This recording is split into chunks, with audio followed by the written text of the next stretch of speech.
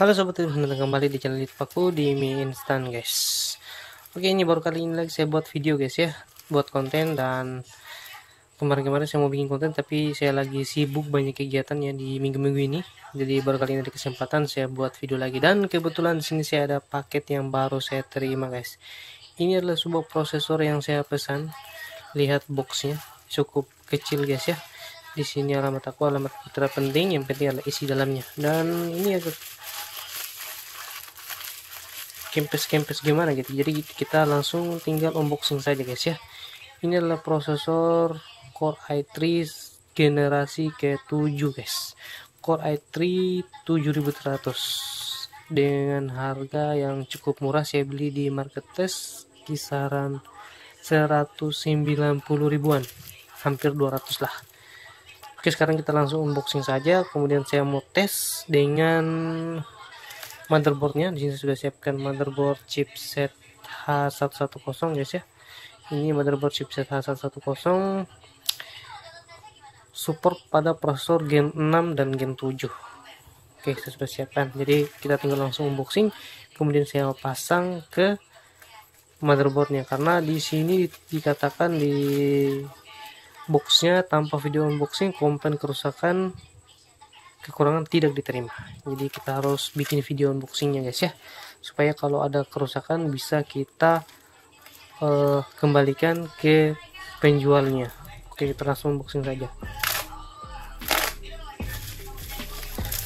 Oke guys.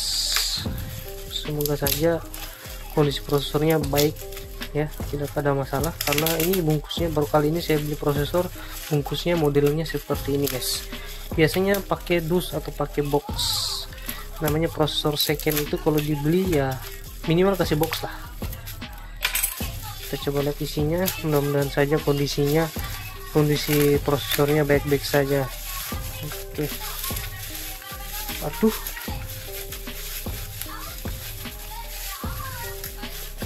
Oh wih waduh cuma dibungkus pakai tisu kita buka buka. Oke ini ya prosesornya guys. Core i3 7100 7100 kemudian ada tanda tangannya di sini. Ini ada tanda tangan apa guys?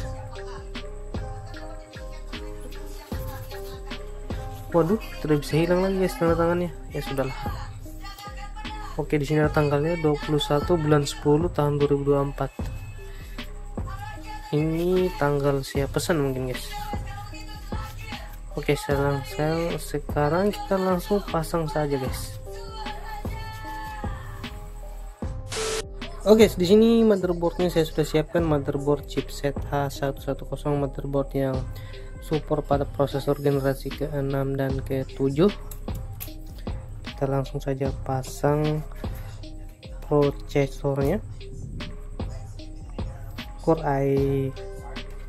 i3 7100 kita bersihkan dulu sedikit ada kotoran. Oke ini stiker stiker dari penjualnya atau stiker apa sih namanya ini stiker garansi tidak apa-apa kalau kita pasang di sini guys ya. Langsung pasang saja. Oke. Sini ada bekas pasta kita lap.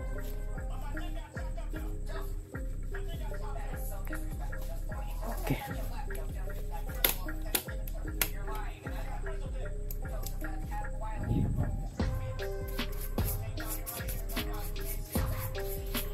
oke.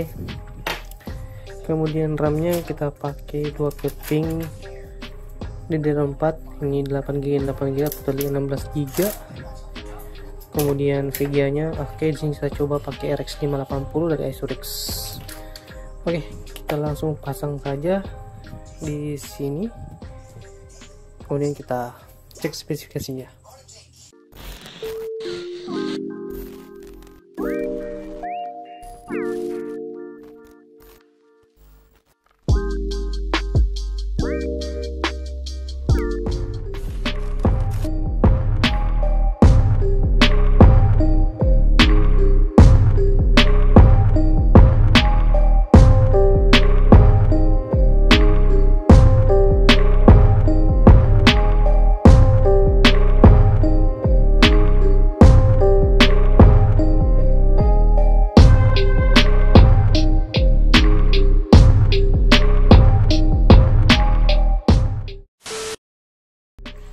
Oke, okay, PC-nya di sini saya sudah nyalakan guys ya. Ini VGA-nya RX 580 ya. Motherboardnya chipset H110 dan di sini fan prosesornya saya masih pakai fan prosesor standar bawaan Intel guys ya. Karena ini hanya mau ngetes saja. Coba-coba dulu ya prosesornya jalan atau tidak ternyata berfungsi dengan baik guys. Nah, kemudian RAM-nya di sini kalian bisa lihat guys, RAM-nya sini beda merek guys ya sini saya pakai HyperX dari Kingston HyperX DDR4 kemudian itu lagi satu ramnya tanpa heatsink. Itu saya pakai Hynix 8 GB ya 8 tambah 8 jadi totalnya 16 GB DDR4 kemudian untuk uh, storage ini hard disk 1 TB dari WD Blue kemudian SSD nya PNY 240 GB dan untuk PSU nya di sini saya pakai Aerocool 500 watt guys. Nah itu saja untuk spesifikasi uh, detail spek yang saya pakai kali ini guys. Ya silahkan kalian cek saja di deskripsi untuk lebih jelas dan lebih lengkapnya guys. Nah sekarang saya mau buka. Dan di sini saya sudah buka guys. Saya sudah buka touch power up dan GPU Z kalau untuk VGA RX 580 ini tidak perlu saya jelaskan panjang lebar lagi ya guys ya. Ini sudah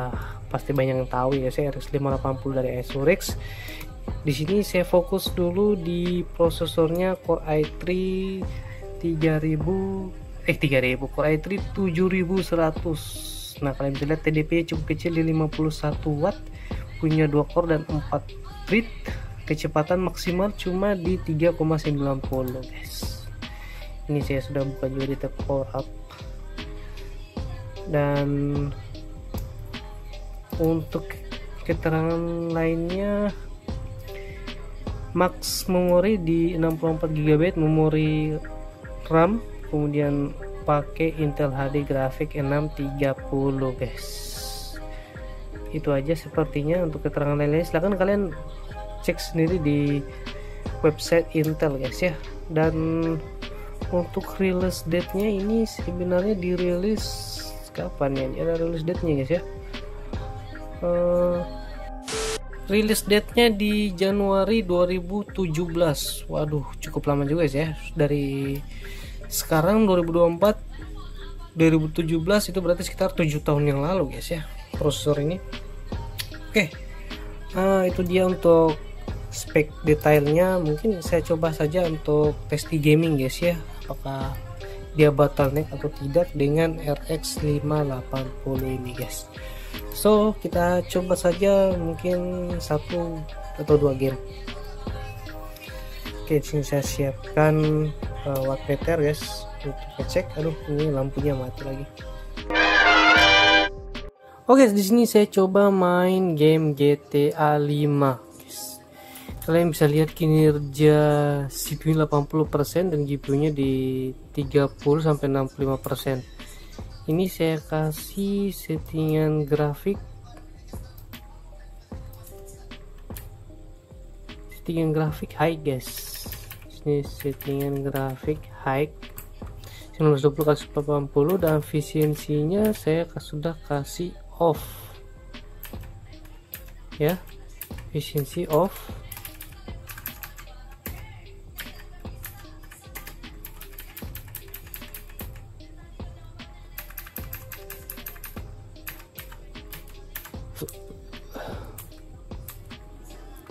Oke kita close di sini. Biasanya dapatnya di sekitar 40 38 sampai 40 guys. Wattnya di 130-an di sini kelihatan kalau CPU nya bekerja cukup tinggi ya guys ya.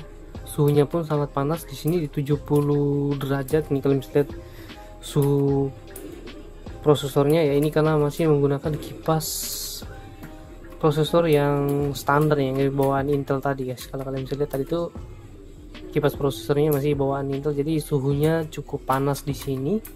Kinerjanya sudah sampai 90% GPU nya di 40-an persen guys.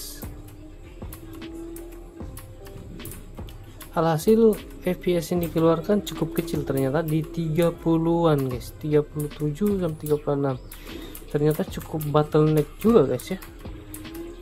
Fps nya di 30an biasanya kalau untuk prosesor high di atas ini bisa sampai di 60 bahkan 100an guys. Tapi karena prosesor Core i3 nya cukup kurang mampu menyimbangi RX 580 alhasil fps nya cuma di 30an hmm